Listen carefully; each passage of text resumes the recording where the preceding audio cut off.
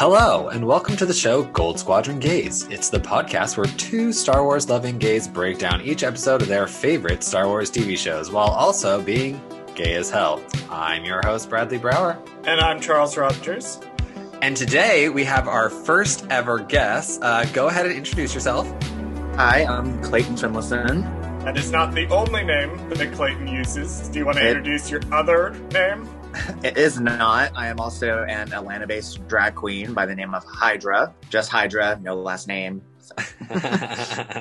Some Although- some people some people make it work. Some people make the no last name work. Hydra here is is somebody that I've worked. I'll jump back and forth between using Clayton and Hydra because I can't stop calling her Hydra. Go go for Uh, it. Somebody that that I've been backstage with and sort of has been my window into the drag world. So it's neat to get her on this show because she's also a huge Star Wars fan. Now, here's the question I have for you. Have you, and I know I've asked you this off the show, have you considered doing Star Wars drag before? Yes, um, and I mean, and we we have talked in a little bit of detail about this. Um, I wanted to do a few looks, like um, more of the like when I've seen the Twi'lek, excuse me, the Twi'lek cosplay uh, that I would see online. That always was just like, God, I could totally rock that look. Like, and I feel like it could do it really well. Um, I think we talked about uh, doing. Uh, what was the other one that we wanted to do? Juhani from um, Star Wars, Yep. uh, the Knights of the Old Republic. I definitely would love to tackle that. The number one on my list that I want to do, and it's probably going to be the first one that I really try to attempt, is uh, Darth Talon. Like, so yeah, so for you know her- Bradley, who probably doesn't know who that is, who right. is who is Darth Talon? I know Yeah. who Darth Talon is. Right. yeah, Please so explain. Darth Talon's a, a badass, you know, red tattooed Twi'lek Sith Lord um, from the comics, like basically. Um, yeah, and so I've always just seen uh, the visuals of her and through the comics and all the different interpretations, and I just thought she looked like a badass, like villain bitch. And you know, us gays, we love a strong villainous bitch. Like that's just that's how we roll. And um, seeing her interpretations and see people do her in cosplay, um, I'm just like, oh, I could totally do that, and I could do it better than those, you know, those those little bitches doing the cosplay. Now, Uh, yeah. what, what what sort of routine would you even do for that? Because I'm I'm sitting here thinking like Darth Talon, you can't really do the Jabba's palace dance for. no, and well, I mean, Talon would probably, you know, cl- kill the shit out of Jabba the Hutt, but you know, I don't think she'd submit to no man or thing, no hut, no. Um, but you know, how I thought about introducing that concept at a pageant, like if I were to do, if I had like an open world like uh, presentation category for a pageant. I would literally make sure I had, you know, a real good quality lightsaber with a red crystal, and probably go out in like the traditional, very dark Sith robe attire and do this, you know, and you know, you know how I like reveals because you know how we how we, We did it, do. like and Bradley, do did did you did you see any of Dragnificent, Bradley? Have were you around for that show back in twenty late 2016, early 2017 when Hydra was in it? Uh, no, I've never seen that show, so I don't know anything about I don't know. that. I don't know if they're doing it anymore since the the place that normally hosted it shut down. But Uh, yes, They'll- Hydra's a big fan again. of reveals.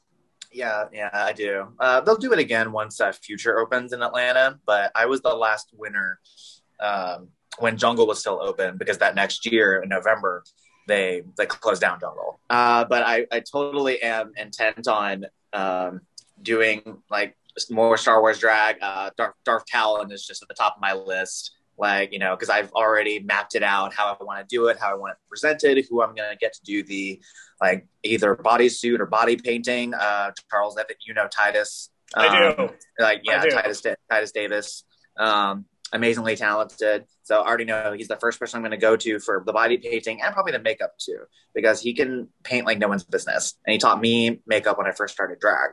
So I've got a big plan for how to do it and how it's gonna, you know, make everyone, you know, just gag. So I am excited Uh, for that.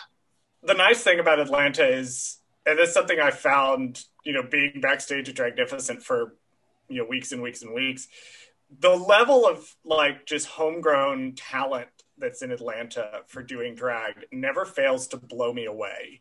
It's consistently impressive just if you know you know where to look for people, the type of people you can pull together to collaborate and make something really cool. I would be interested because Star Wars drag is not the first thing I think of when I think of Atlanta drag. So it would be interesting to see it there as opposed to we were talking Bradley and I on on the pilot episode about San Francisco. Apparently there's a Star Wars drag show in San Francisco. So it'd be interesting to see it play in Atlanta. Yeah, no, I I think we talked about the San Francisco uh, Star Wars show. I have yet to go to go to that. Um, although I was just in San Francisco and they were doing an outdoor drag show in the wind and the cold. Oh God, it was so cold uh, with the wind chill. But they were doing a show outside and outdoor dining and everything. But you know, I didn't catch the the show itself and definitely didn't catch the Star Wars show, um, unfortunately. Um, but yeah, there's a, a whole mess of a variety of talent in Atlanta drag.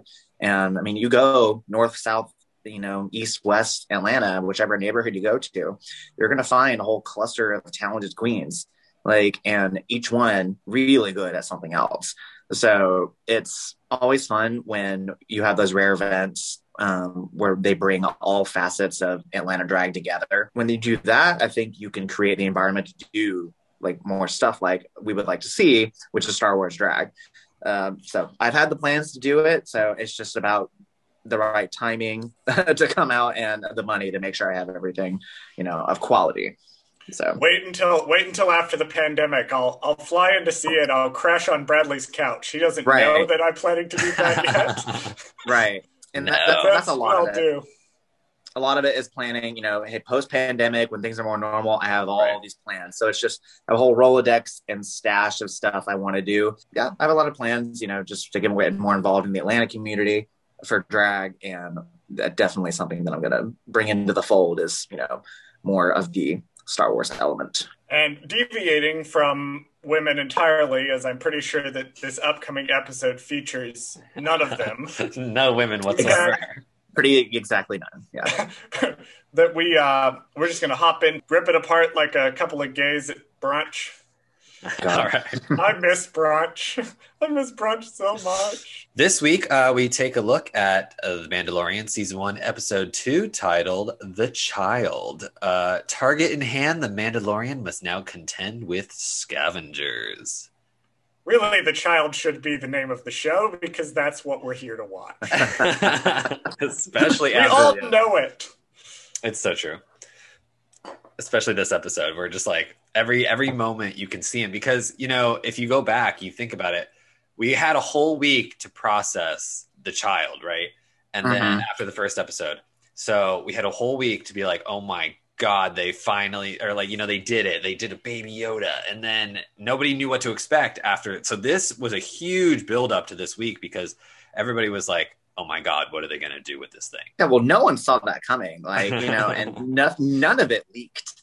Like, so, no. I mean, literally, you got to the end of that episode and you're just like, oh, it's a baby Yoda. And then the whole internet explodes until the very next episode comes out and everyone's like why is there not another episode they're doing weekly weekly releases i hate this i need more baby yoda and then right. luckily episode two is just showing you how cute and adorable baby yoda is for like 90% of it i thought it was a fake so i i as we know didn't watch the mandalorian the first three or four episodes as they were airing because i was in the middle of my giant pre-rise of skywalker rewatch I thought the first time somebody said there is a baby Yoda, I was like, you're lying to me. There's no way this is the big episode one reveal you're all freaking out about. And then I saw a picture on Twitter. I was like, oh, oh, they actually did do Baby Yoda. right. Okay. You're like, you're full of it. And then, like, oh, no, they, they actually did that. Like, oh shit. but it's interesting you bring up episodically because at time of recording, uh, WandaVision is currently airing, and I've been hearing some criticism of WandaVision that they're like, oh, they should have released it all as one. Mm-hmm. And you know, I disagree, and I disagree for the same reason. I think that episodic works for The Mandalorian. That mm-hmm. both of these shows, I think people with binging have just kind of forgotten how to watch, how we used to watch episodic TV. Right. They're spoiled. Yeah, you, you get it all in one, and then you forget about it. With the Mandalorian, maybe it wouldn't have become such a cultural zeitgeist if we hadn't been able to follow it week to week to week and have these conversations about it, uh, like Right. we're retroactively doing. Of course, when the new seasons are Right. dropping, we will go in and do this as Right. they're airing. Right. yeah, and I think they understand that part of it. Like they wanted to bring back the more episodic format so that you know things like this can be a thing. People can talk about it. More buzz is built up. Do a bunch of you know like ads, campaigning, etc. They, I mean, they make a ton of money. Obviously, like are not blind to the benefits of doing an episodic. There's a definite definite benefit for them to do it, even though it drives us nuts because we're so accustomed to the binge dump that we've done that we've been doing ever since Netflix en- entered the fray. Because now everyone wants to just throw their shows out there. Yeah, and I think that one interesting thing is I'll I'll log into Disney Plus, but Disney Plus is not the type of thing that I just kind of log into. I'll, I'll log in to watch these episodes for the recaps, and then you know maybe I'll log in to watch WandaVision, and you know while I'm there, maybe I'll put something else on. So I end up spending like hours on this app that I opened up to watch just one thing. Mhm. Right. That's how they get you. Well, yeah, they put Baby Yoda on there. They got every gay man's money. The second they went, you can have Baby Yoda and you can have Scarlet Witch.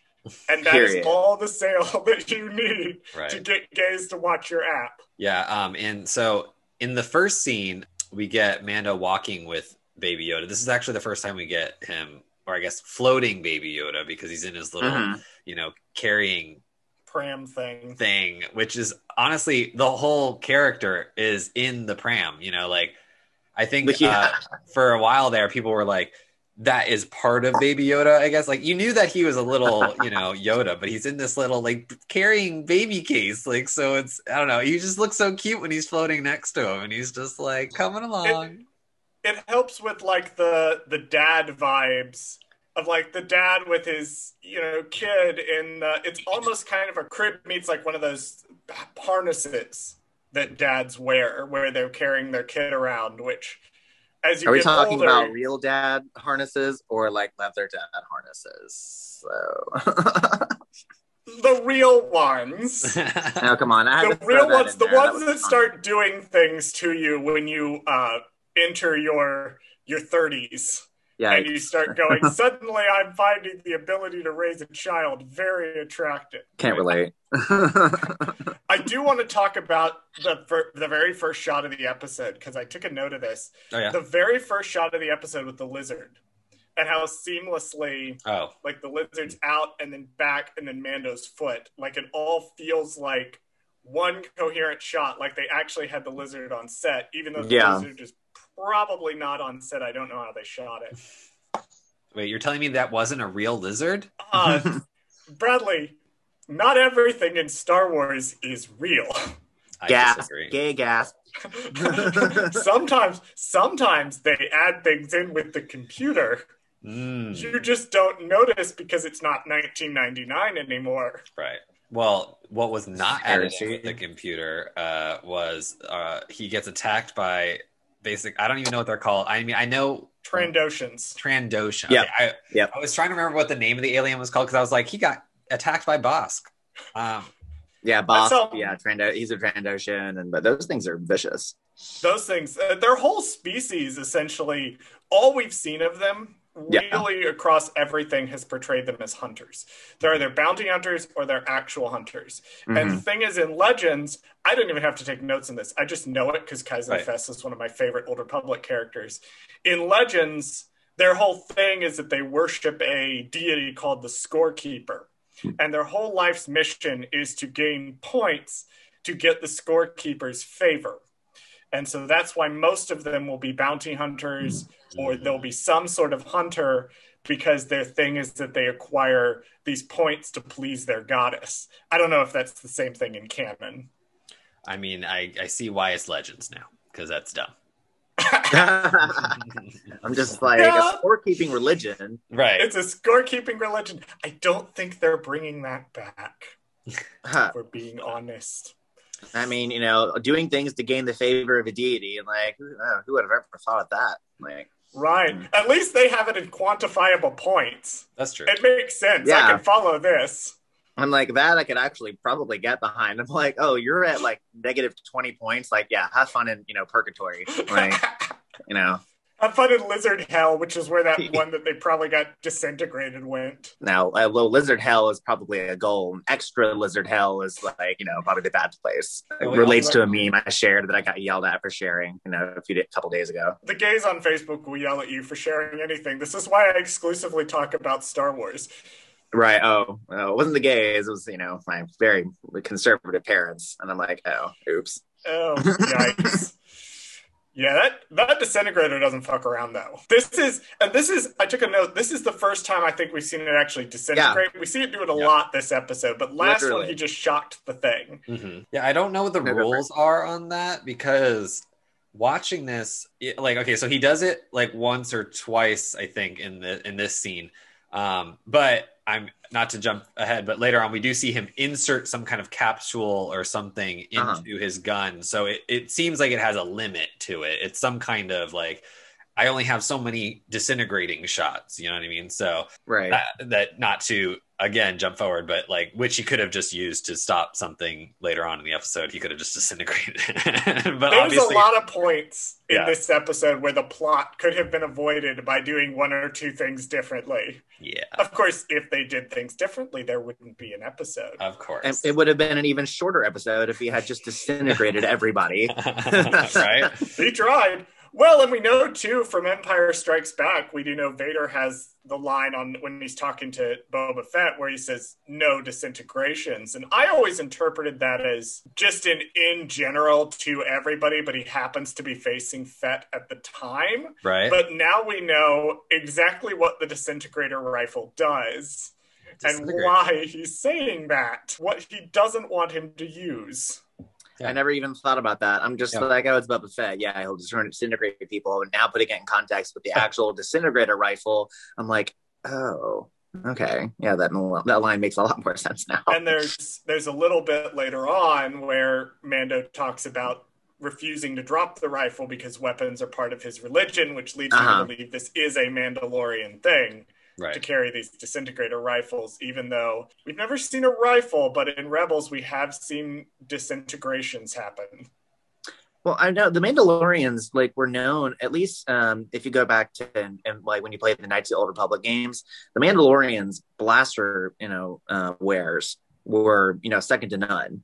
Like so, it would not surprise me that Mandalorians were the ones that conceived you know uh, the, the disintegrator rifle because you know they would have the blasters like the Mandalorian Rippers and all these other off-brand blasters that would just kill the hell out of you. Um, so it wouldn't it wouldn't surprise me. They also built the Basilisk war droids, Mm. which the Basilisk war droids.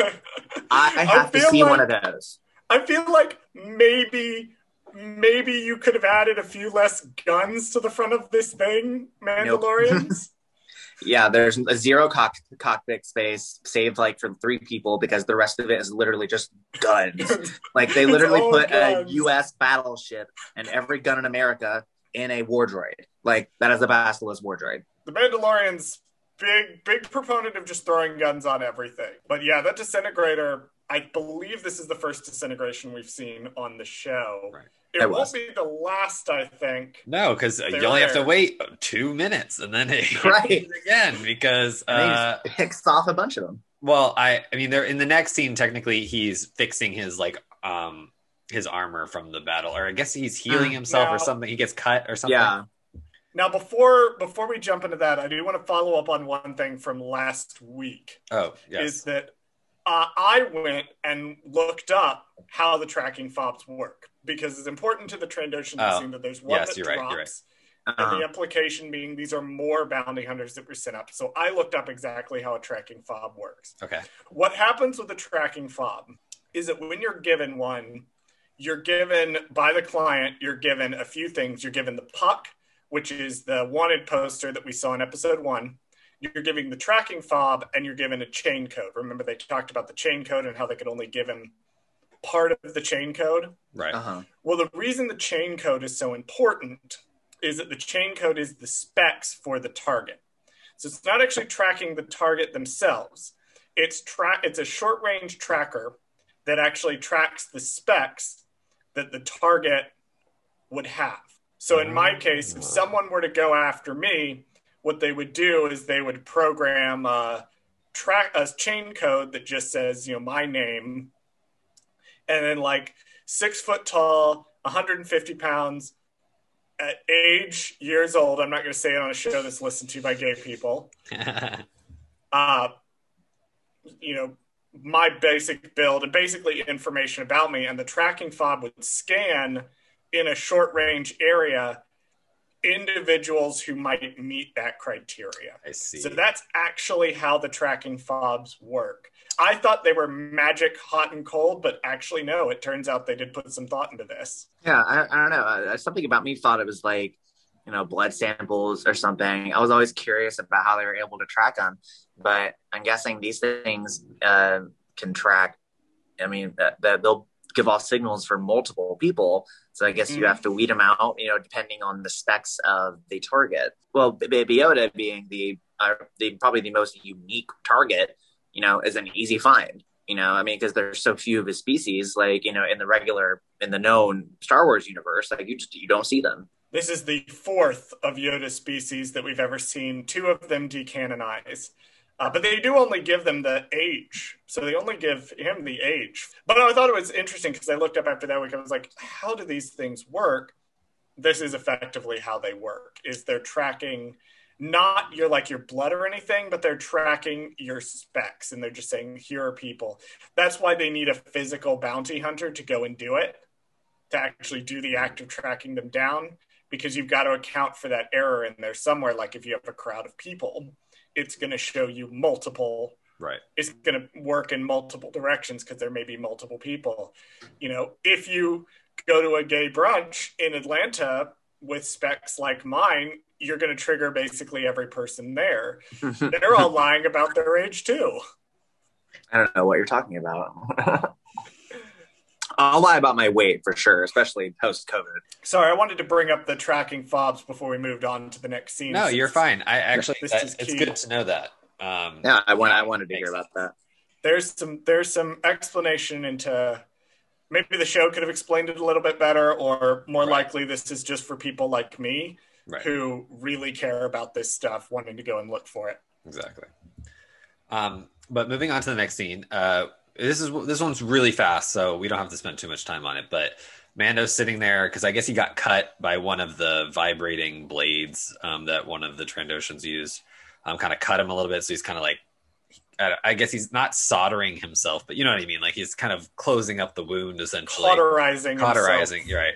Baby Yoda wants to help. He just wants to come over there and touch his wound and make it feel better. which we will Yeah. know from later in the series does have a purpose Right. I know a lot of this episode is just highlighting on how adorable Baby Yoda is. Mm-hmm. Like, look at this child. Right. Like, you know, hence the episode name. So, I mean, Disney is literally just like milking it for everything it's worth because I think they just low key knew they would break the internet with the first episode. Yep. And so, th- this scene included is just setting up like, look how adorable. And what highlighted that for me was because I watch most everything with subtitles now because I, I don't know, I'm getting old. And same so I, I would constantly just giggle whenever, like, you know, Baby Yoda would do anything. The subtitle down below is child cooing. And I'm just like, that's the most ador- a, a child cooing, like the Yeah. most adorable thing in the planet. Like, so every time I see child cooing, I'm just like, oh my God, like it's so adorable. And literally almost every shot of Baby Yoda doing anything, he's just like, "Ah," like little coo, like, and then hence the little subtitles. And then I just, you know, fawn over it, you know, like any gay man would. And we are seeing Mando kind of start to, even in this early scene, the reason that he's starting to come around on Baby Yoda is because he's having to spend so much time with him. And so much of this episode highlights the two spending all this time together, leading down his eventual choices he will make later on in the show. Uh, I did also note that uh, dad vibes are extremely low key sexy to me. And I did not uh, really process that as a thing that I'm like, oh, I kind of find this fully armored guy more attractive now. I already thought the fully armored guy was attractive, but this is just helping, and I don't know why. You're going to look for a fully armored guy in the back room of Heretic now. Hey, if you show up to the club in full Mandalorian armor, Like, I don't care what you do or who you are. I'm buying you a drink and you're not taking the armor off. Oh, I, yeah, no, I think we'd all hit it probably. So, because we know we'll never, he'll never take, well, at least in that particular one, he wouldn't take his helmet off. So, Nope. I don't have to know what you look like. You can look like Pedro Pascal, which, which is fine. which is fine. You're as long as I can't see your face, you're anybody I want. This, this is a fact. Now, uh, well, before, well, before y'all want to jump ahead of the scene, the end of that scene, you know, when he puts the child back in the carrier so innocently and delicately, again, highlighting the cuteness. But like once he shuts that and they transition to the next scene, like they start the music, like that brass, just um, whole moment happens, like in the in the score and the music. And you know, more about my background I didn't talk about is that I was a music major at college trumpet player. I teach college band, high school bands, brass pedagogy specialist. So I have a huge, I got a huge brass player boner for that moment as soon as he put Tromboner. baby, right, tromboner, yeah, whatever. And uh, so Zip yeah, Man too. I know all the insults. yeah, we're all a bunch of horny band geeks that like Star Wars. So here we are.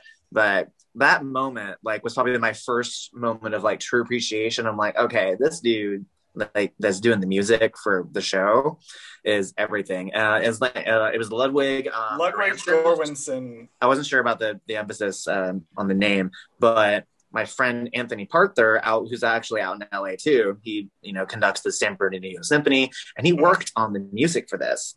Mm. So just highlighting that the end of this scene in particular was like my moment of like this music is the shit like the whole score so the whole rest of the series i'm just like i love this music i love everything about it but that moment was when it, when it started for me I fell in love with the score with the uh, with the the the composer for Black Panther when he did the music for Black Panther. That was when we made that was what made me sit up and go, "Wow, this guy is something really talented." So I was really excited Uh-huh. He was going to do Mandalorian, and he's really knocked it out of the park.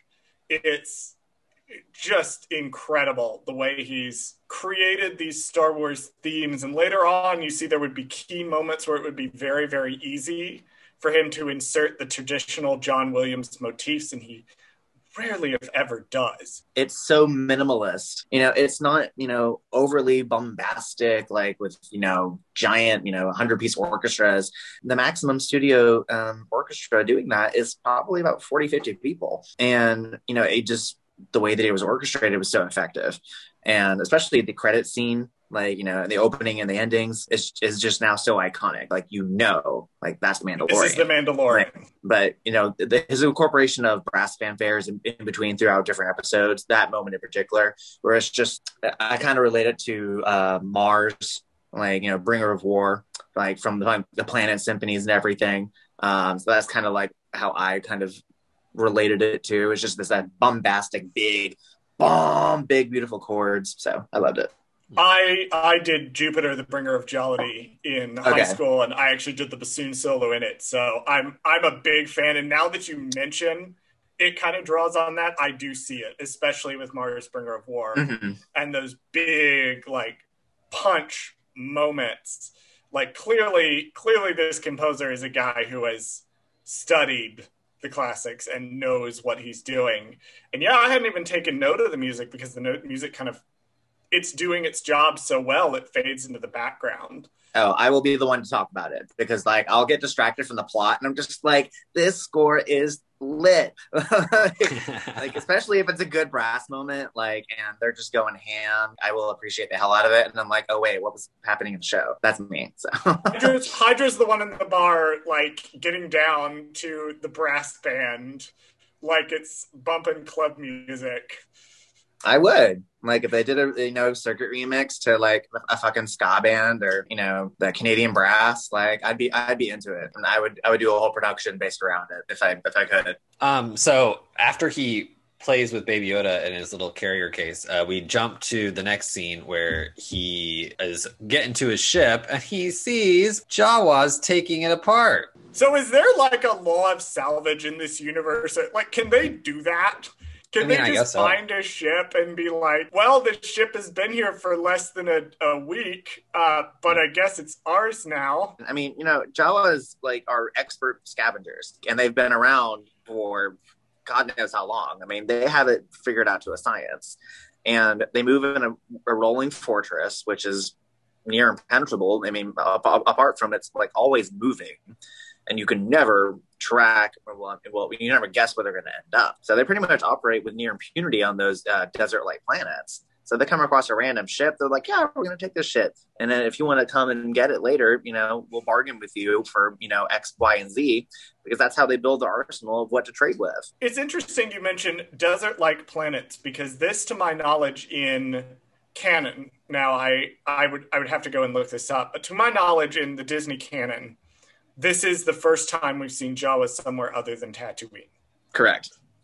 And in at least in Legends, the sand crawlers in particular were a Tatooine specific thing because they were left behind by the Czerka Corporation and other mining corporations that came to the planet, tried to exploit it for resources, discovered there are no resources on Tatooine because Tatooine sucks hard. Oh, you're right. left them behind. Mm. And we do see some Jawas in legend that have, you know, migrated out spacefaring, but this is the first time we've seen both in canon both Jawas, and I believe it's the first time ever that we've seen a sandcrawler, like a true Jawa sandcrawler, that's made the move to another planet. So it brings up a lot of implications about the Jawas right. that they may not be as you know simple, simple, yeah, as as we're led to believe. No, I've always I've always thought that they were a very sophisticated. um pack-minded species like you know they're incredibly clever and they know how to get what they want so is it it's not beyond comprehension that they are able to you know uh, on at least on a smaller scale, you know, perform interstellar travel. I mean, we don't know how far away this planet was from Tatooine. At least I don't know off the top of my head. Once he notices the Jawas, uh, he starts disintegrating them with his disintegrating ray, and uh, starts to chase after them because they're they're freaking out and running away. Okay, so the single, probably the single funniest meme to come out of this episode is like having Mando like you know just perched up in sniper position with Baby Yoda right next to him, and they made they screenshotted that, turned it into a meme. Um, I think the first one that I saw was like the caption was just like me watching my boyfriend beat the boss in a video game that I couldn't beat, and then it goes to Baby Yoda, and he's like, "Yes, die, trash." and I, I thought that was the single funniest thing because I know good and well that that whole scene is you know Mando disintegrating Jawas left and right, and Baby Yoda is just like reveling in the chaos and death. the juxtaposition of the, the, the dynamic works so well because it's a juxtaposition between this stone cold, literally like faceless killer and Baby Yoda, Earth's cutest thing. Mm-hmm. So, I mean, there, there were there was a handful of memes that we could reference, but like that was the funnier one. You know, a cold, faceless killer next to the most adorable thing in the universe, just sitting there enjoying it. Like, mm. yeah, is that, a foresh- is that a foreshadowing that maybe he'll go to the dark side because you know he enjoyed watching little tiny Jawas be disintegrated? Who knows? Right. Well, I mean, I've I've seen couples around LA and Atlanta like that. So yeah, you know, or one of them's or one of them's like this super super closed off, and then the other one's like the most bubbly person you've ever met in your life. It's oh, just yeah, it's a dynamic facts. that happens sometimes, not even in this context, but even like walking down and seeing gay couples wandered around. Right. It's a funny dynamic. It's just a hilarious dynamic, whether it's in a relationship or a friendship or a parent child relationship. And this show leans into it so well. And then um while he's chasing them, uh, they, you know, they're opening up the little panels uh, in the crawler and they keep throwing stuff at him. And then eventually he gets to the top because he's so successful. And then they just stun gun him and then he falls just hard. Did anyone else a... get serious Indiana Jones tank scene vibes from this? No. Or was that just me? The Indiana Jones, the tank scene from Indiana Jones and the Last Crusade. Oh, I kind um, of got those same vibes. Oh. Yeah, I've seen all the movies, like, and I, I know I've seen Last Crusade. No, but mine doesn't. My mind didn't go straight there. probably have to go back to the Last Crusade so I can see the see the parallels again. Right. So you're alone in this, old man. Yeah, I I usually am. I'm perpetually alone. Period. Same. No. That's why The- I have a Star Wars podcast. Uh, the thing, well, the thing I appreciated about, yeah, after he started chasing the crawler, you know, because he spent, you know, the first part of that scene just completely picking them off, and they're all freaking out, like, "Holy shit!" Like, Right. our They're people are they're out in the evacuating out open. of thin air, like, and they're just getting their shit wrecked. And um, I mean, I put my notes, I, I I put my notes here that you know, it was just, it's funny to me because Mando starts out the scene just completely wrecking them, you know, going ham with the disintegrator rifle, and he finally makes his way up to the top of the the sandcrawler by the by the will of God and you know the strength of his convictions. And along the way, just these tiny little funny moments with the Jawas, like right before he gets up there, he literally. You know, they think they got him. He grabs that Jawa by the scruff and just throws him over. throws him over and he just screams in his little cute little Jawa voice, like, I you was, know he's going to his death, but it's just so cute. Like, I was, even their dying is adorable. Ex- I, yeah, I've always thought the Jawas were one of the more adorable things in a Star Wars universe, and then you know, Baby Yoda came. They're also presented in A New Hope when we see them for the first time as almost kind of more frightening. So they're, you know, R2's out there and there are these Jawas that ambush him and the Sandcrawler is scary and it's got the droids Yeah. in there and it's almost like dark and creepy and then we see them get to the Lars for get to the Lars farm. Then they're just like running around, being hilariously adorable, like trying to sell Owen on these droids, and you're like, mm-hmm. I don't know how to feel about these things. It's the same thing with the Ewoks. The Ewoks are adorable. The Ewoks also eat people.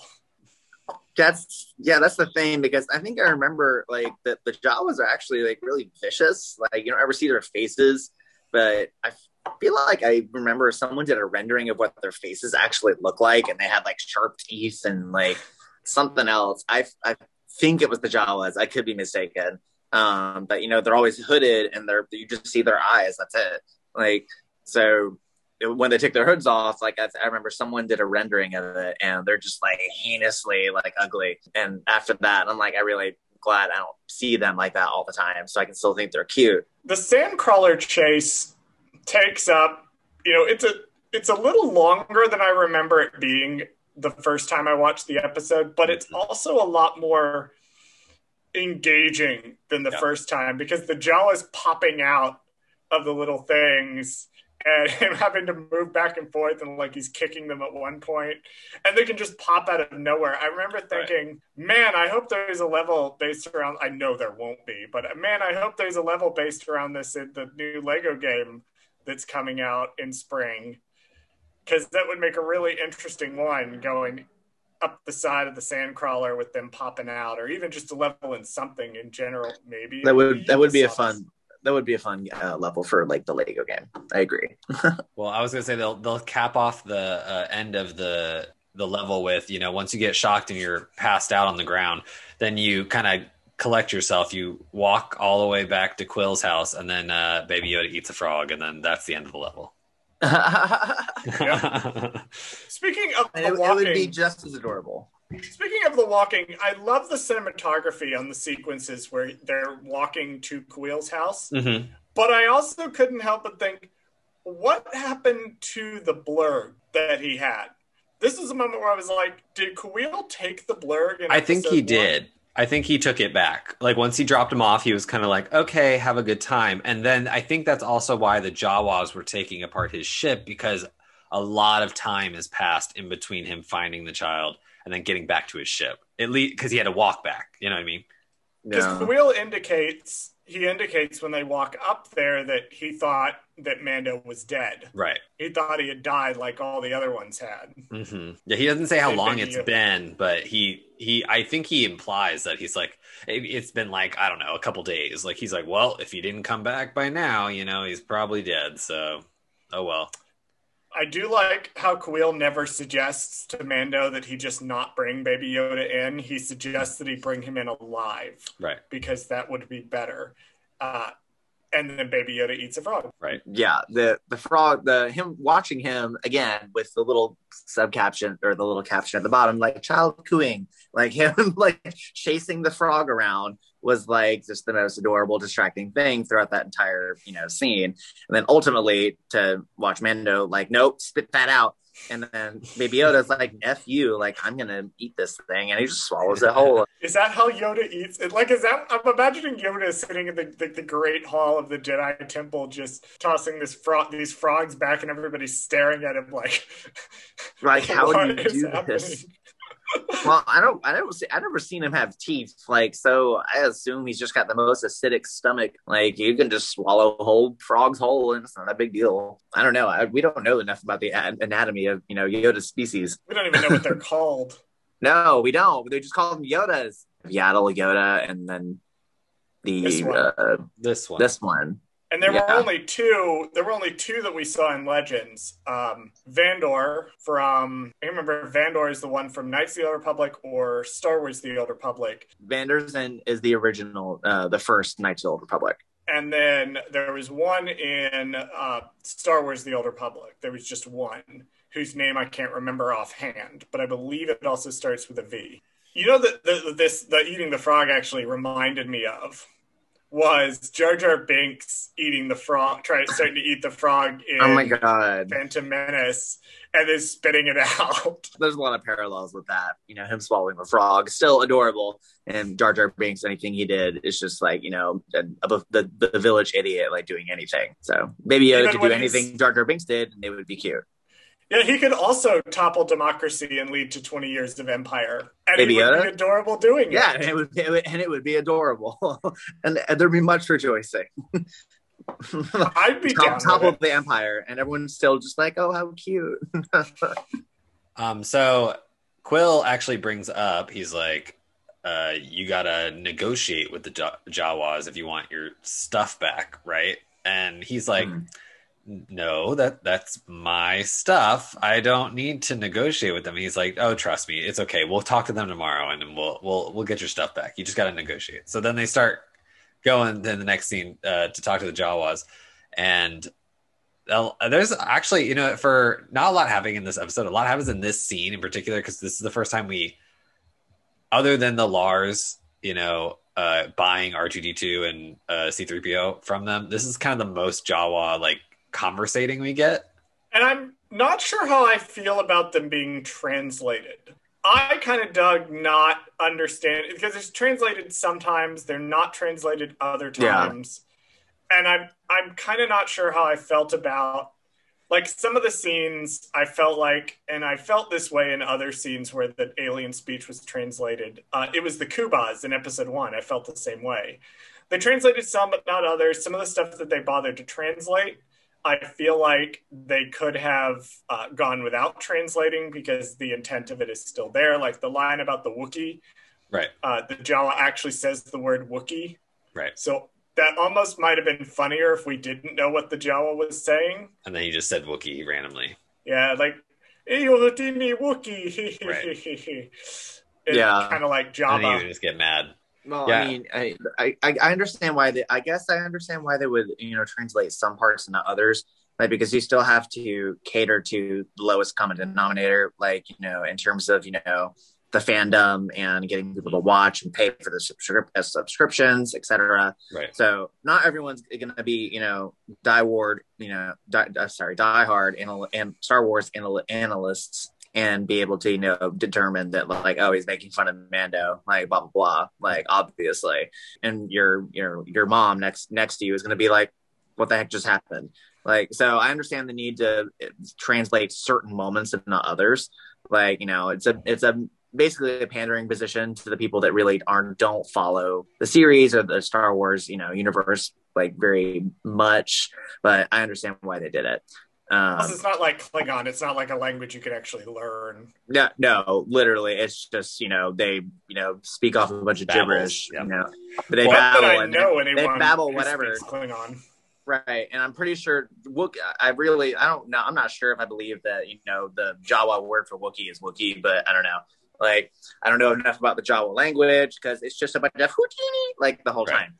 Like, well, it's very minion like. Like you know, they it's kind of a play yes, on the minions because yeah. they don't really speak; they just babble. They do that kind of like sim talk where uh-huh. it's like. blah blah, blah, blah, blah blah blah blah blah. you know, so then they they're very minion like too because then we get where they're they're like, well, we know what we want from you if you want your parts back. We want the suga, the suga. Yeah, this, yeah, oh, that you know, that that I definitely I put in my notes because I thought that was the most hilarious thing when they're just they they shout Suga Suga, Suga. and uh, Kuiil, Kuiil is just like oh god. Yeah. Um, but one of the funnier moments about that scene, like uh, going back to the disintegrator rifle, you know, walking up before they even start negotiations, like they're walking up and Kuiil's just like, they don't seem to like you very much. And Mando's just like, well, I did dis- disintegrate a few of them. right. I'm just like, that is is the most Mandalorian thing on the planet. like, like like it's just a thing that you do on accident like oh you know he doesn't like me because eh. you know i walked into his yard once uh, i broke a window on his house by accident and i disintegrated several of his friends uh, you know minor stuff i think he might not like me very much Mhm. but then Mando kind of pushes back when they ask him to put the the rifle down, and he says, Uh-huh. "You know, I'm a Mandalorian. Weapons are part of my religion," which also made my brain kind of go, "Hmm," because I was already hmm Yeah. because I'd never heard of a lot of this stuff before, and he's bringing that up, and I'm like, "Where did this come from?"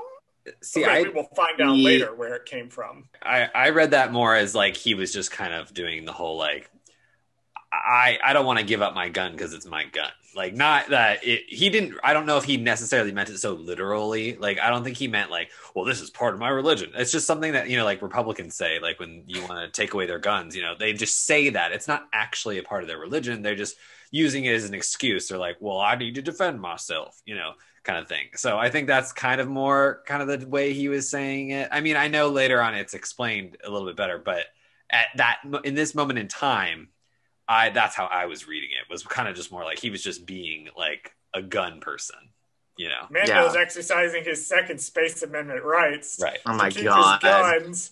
they're not gonna let the the awful uh what's what's the party that Leia's part of in Bloodline? Uh it's not the Organ- centrists, it's the other ones. Yeah, what party what party is she part of? It's not the centrists because the centrists are the uh, populist. They're not gonna let those damn populists uh, take away my disintegrator rifles.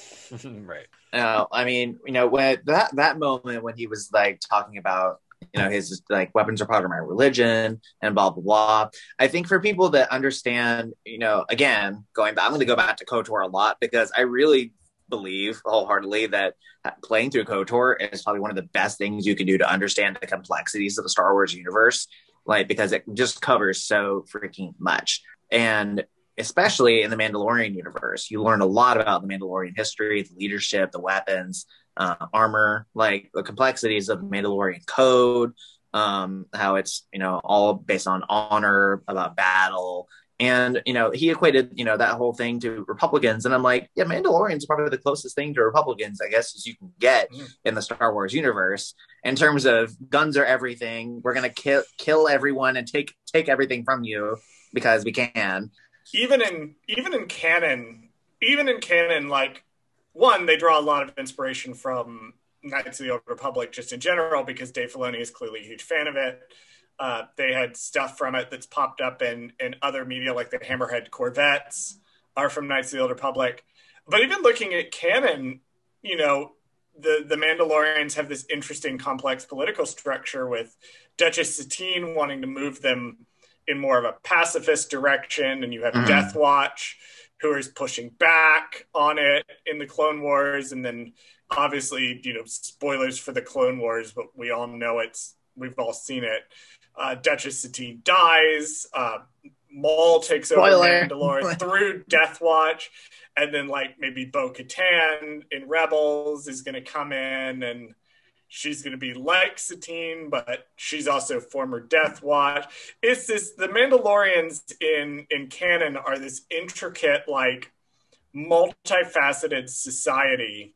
So when Mando said that line about weapons are my religion, and I went, hmm, this is interesting because this doesn't jive with what I know about even Death Watch. Well, Wasn't no, like not this. not canon, not canon Mandalorians. Like, but you know, you go back to what you know about right. um KOTOR Mandalorians. It's a it's a very purist uh, take, a very purist point of view. Like so, they had the creed. They they they ran by the creed and all that. You know, you didn't see them take their their you know their helmets off or anything. They didn't well, talk about taking their helmets.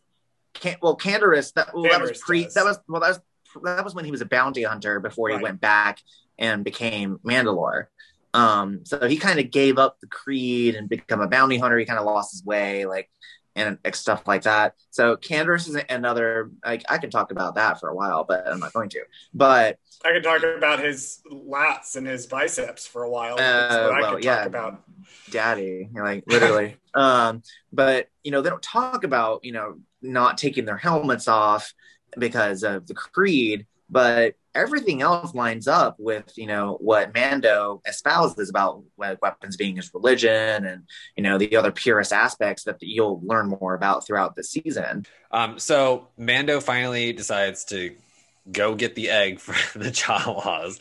Um, he goes up to the creature's cave, um, and the creature, you know, he's, he goes in there, and the creature wakes up, and he starts rolling him around in the mud with the creature outside, which is a Mudhorn. Which we haven't seen. No, and so that was it was a refreshing. I mean, it was it was a new thing for me. Like you know, I've never I've never seen one, mm-hmm. so it was you know exciting to see a new um like a new big big like boss creature. Um, right. I loved uh, and noted the horror we talked about in episode one. We talked about the horror vibes in the Razor Crest, and here they're kind of doing that same thing with the darkness and the the light, the directional light beam, and leading up to the revelation of the Mudhorn, and then you know even when we see its eye, we don't. We hear the blaster fire, and then Mando comes flying out of the cave, like he's just been fired out of a cannon across this mud pit, and then the thing charges out you know, he's fired off several shots at his blaster. I mean, didn't do anything. I looked up briefly because I wanted to know if we'd seen a mudhorn before. Mm-hmm. The mudhorn is an interesting case because the mudhorn actually reverse went into legends. It was originated here in this episode of The Mandalorian. And then Star Wars The Old Republic retroactively had it as a mount that came out after The Mandalorian. So mudhorns are now in canon and legends but they were in canon first and have been retroactively put into legends by being in the Old Republic. Um, yeah, it kind of look. It's weird too because it's um, when I was looking at it, it's almost like a prehistoric rhino in a sense because it has fur, like hair, which I don't ever think of rhinos having fur. I mean, I guess they have. I guess rhinos do have hair on them, but it's not like a lot. Like they almost look like uh, naked cats, you know, like they have like little like bits of hair somewhere, but that's about it. I can't really think of a creature that's like that. Yeah, I mean, there. I mean, I think it was kind of more of a.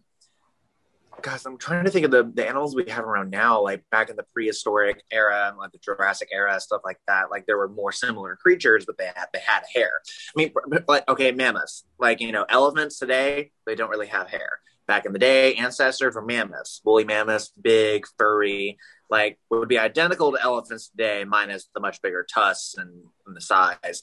Um, but you know, they right. elephants, you know, they have they don't have any hair. So I mean, it's kind of a parallel between uh, what would be our rhinos and the mudhorn.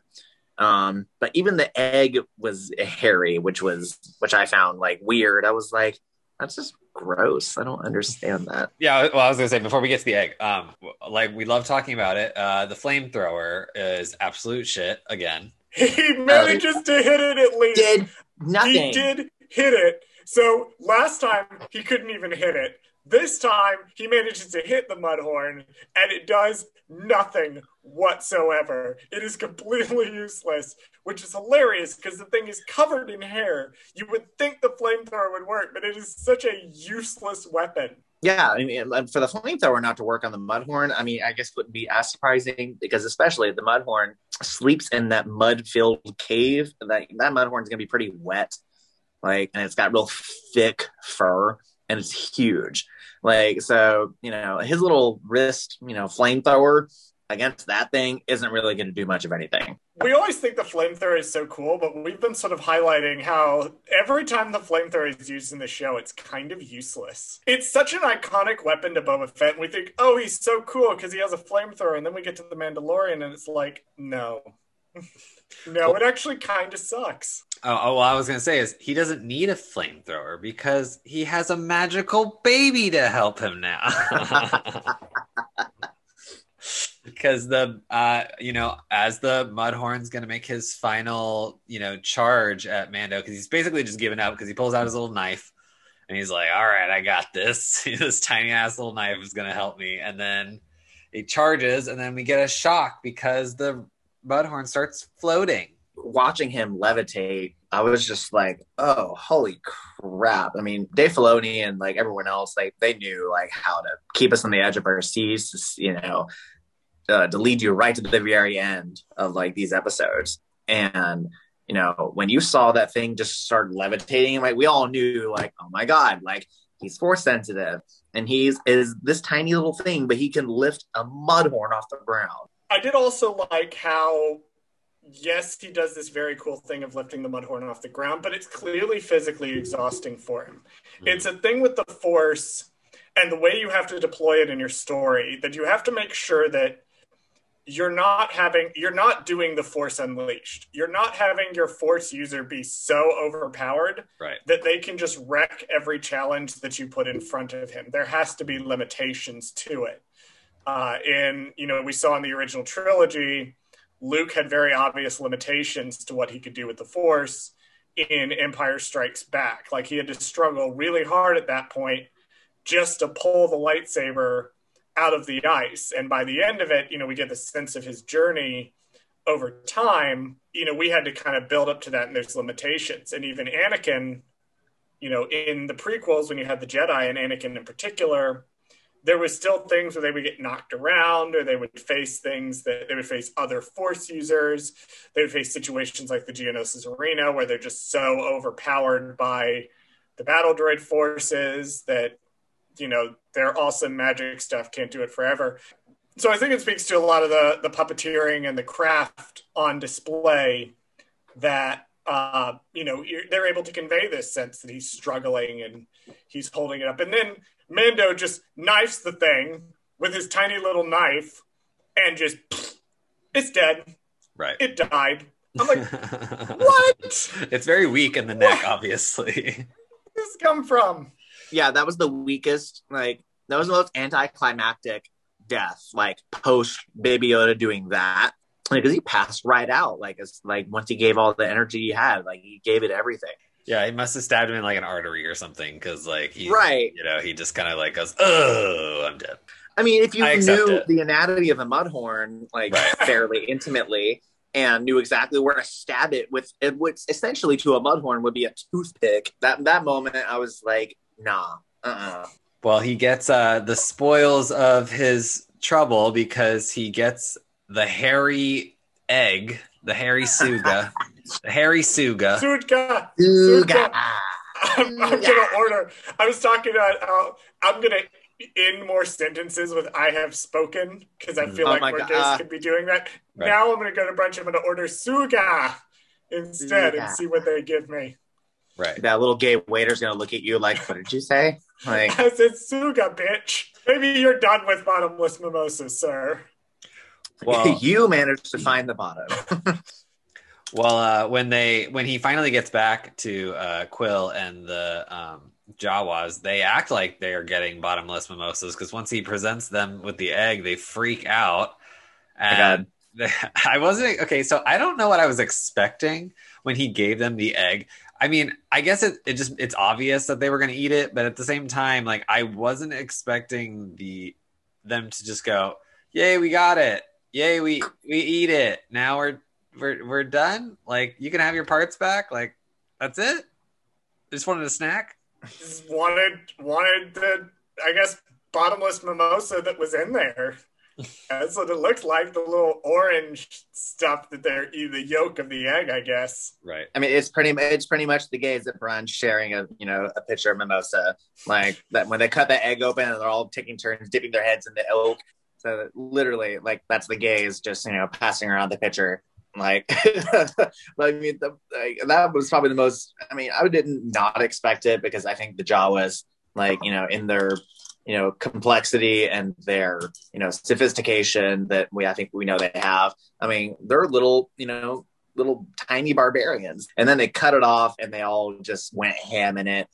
And uh, again, in the most adorable fashion with their little voices it's interesting the more we see because nobody ever really goes into like Jawa culture and they don't bother to explore it. I kind of like it that way. So when they do these things, I'm like, that makes sense. Right. That that tracks. I, okay. I don't know. Right. You're like I, I accept it. It's it's fact, and I I I, uh, I like the um I like the line that Kuiil gives uh, to Mando, and he says, uh, you know, I'm you know what took you so long or whatever, and he's like, I'm surprised you waited or some something along those lines.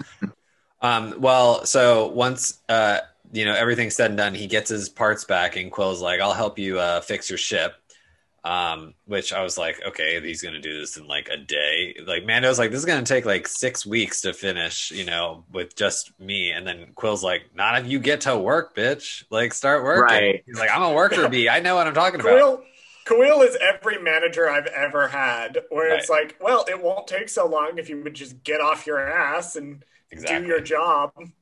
Uh, I I did like the montage is such a great way to get us to really understand how much Mando loves the Razor Crest. I like how the what seems to be a, a running joke, or what I guess will start being a running joke, uh, with starting with this episode, is that the ship's always going to be effed up at some point. So it's like it's kind of like that joke that we, we were talking about the Millennium Falcon being a hunk, hunk of junk. So the beginning episode, he's like, "That's a piece of crap. I don't want to take that. We, I'll hire a taxi." This one, it's obviously it's been destroyed by Jawas, you know, and now he has to put it back together. So I feel like the running joke now is that it's this piece of crap that is always going to be like stapled back together, uh, you know, as we go along. It's a Honda. That's basically what it is. Let's Yeah. let's be real. Like Honda's a bulletproof. You could you know you know take it apart, put it back together fifty times. That thing will still run to about three hundred thousand miles. That thing will that thing will carry you. I had a Honda. I think my current car is a Honda, but the one I know that I had before when I was living in Savannah, that one that one took some punishment. But it kept going. I love the idea of these like dudes in their beat up pickup truck like spaceships that are leaking smoke out the back of it and the engine is sputtering flying around the galaxy doing stuff Right. it's really like a star wars kind of staple you know, uh, before we get to him kind of like just flying away, uh, Kuiil says, uh, or Mando asks Kuiil, he's like, hey, you know, I could, I could use someone of your skill to be on my ship. And uh, Kuiil basically uh, throws it back in his face and he goes, yeah, slavery's over.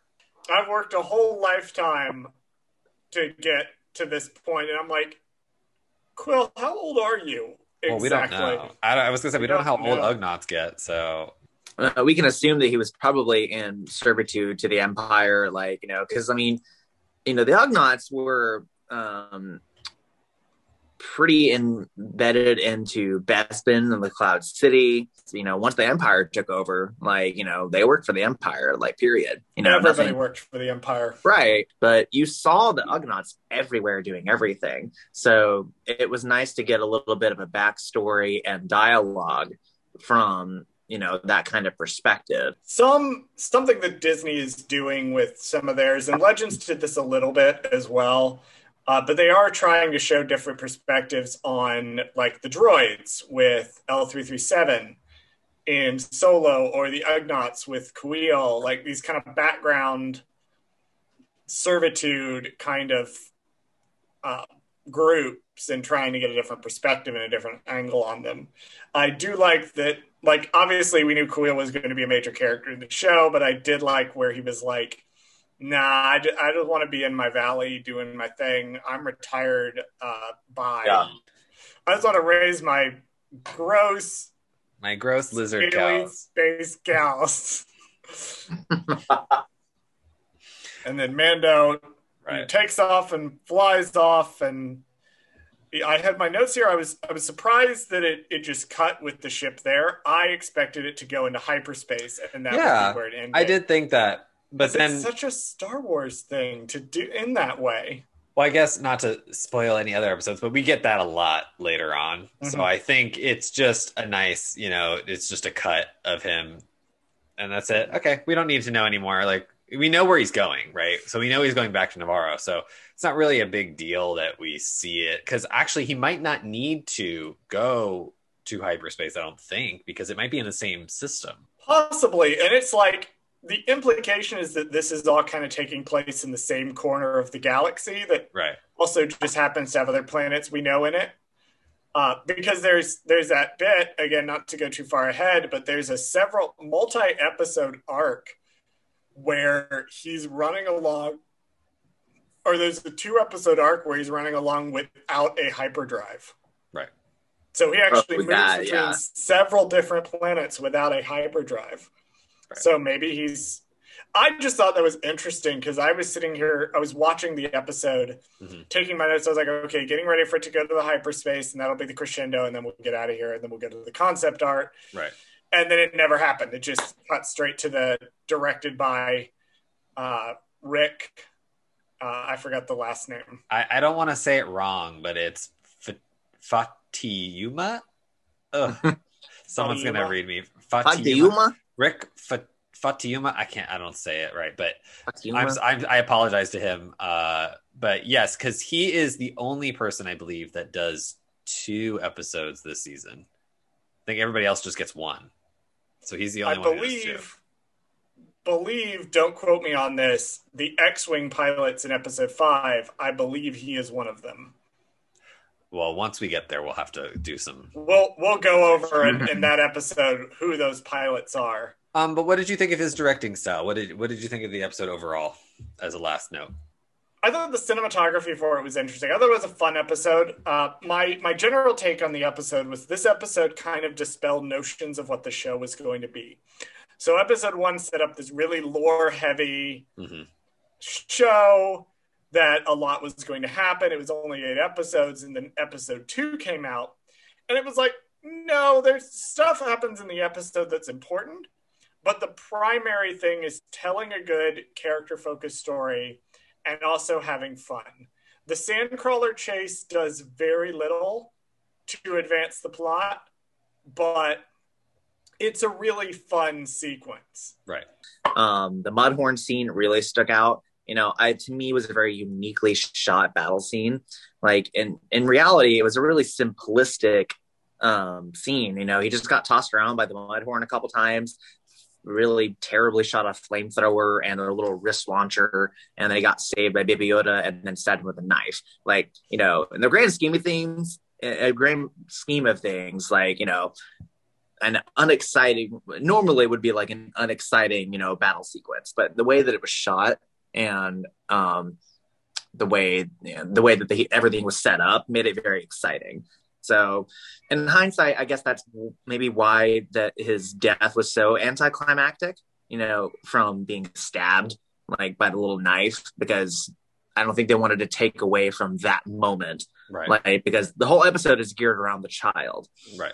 Like so i Almost think like it's you know, the name of the episode or something. Right. right so i think i think that was a real conscious choice by the director to make the death like not as almost purposely you know anticlim- anticlimactic because the point of it is to really emphasize that this is the first time you're seeing like his like baby yoda's powers so i really appreciate the entire build up to that moment and everything along the way was just fun. It wasn't necessary like charles pointed out but it was fun.